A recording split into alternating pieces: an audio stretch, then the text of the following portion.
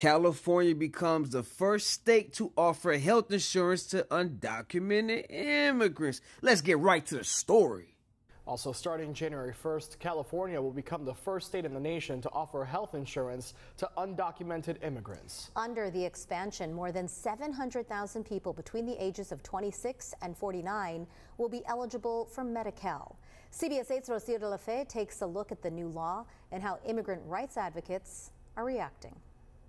Immigrant rights advocates call the expansion of health care for undocumented immigrants a major milestone in California this is a really major step in in California. Advocates for immigrant rights are celebrating a monumental victory in the fight for more inclusive health care. I'm so grateful again. I think it's really, really important to uh, think about how big of a precedent this is for the entire nation. Nettie Velasquez is the border policy coordinator at Alliance San Diego. She's a DACA recipient who has been fighting and advocating for health expansion for years.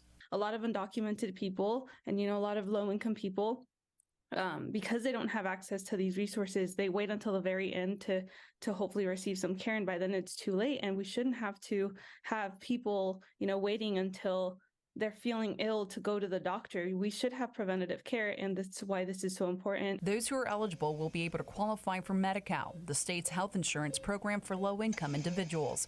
Medi-Cal offers access to primary and preventative care, specialists, prescription medicine, and more. They also deserve a right to have access to primary needs that they don't generally have access to. Undocumented people between the ages of 26 and 49 will be eligible for Medi-Cal. Velasquez says having access to health care is a necessity the immigrant community shouldn't have to put on hold.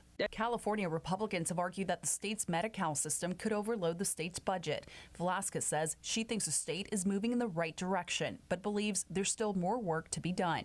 That's because many undocumented Californians will still remain ineligible for Medi-Cal because they make too much money to qualify, but not enough to afford private insurance.